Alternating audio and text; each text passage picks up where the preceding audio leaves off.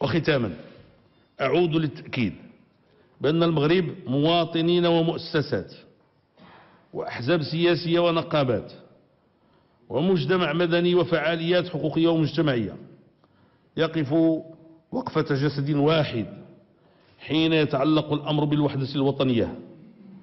لقد ألفنا في مسعانا النبيل لبناء الديمقراطية المغربية أن نحول هذا الفضاء إلى فضاء للنقاش.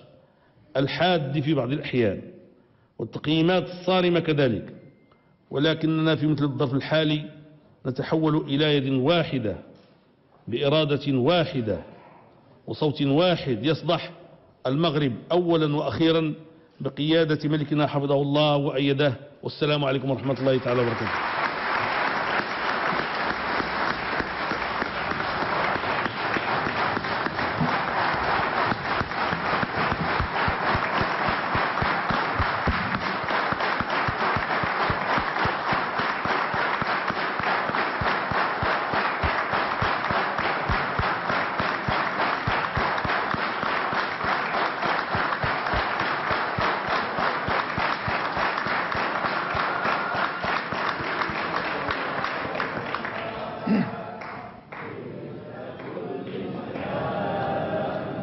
ذكرى كل ساد بالروح بالجسد هب فتى لب النداء في دمي وفي دمها وكطر نور ونار.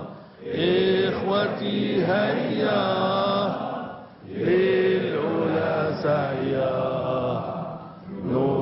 نشهد الدنيا أن هنا نحيا بشعار الله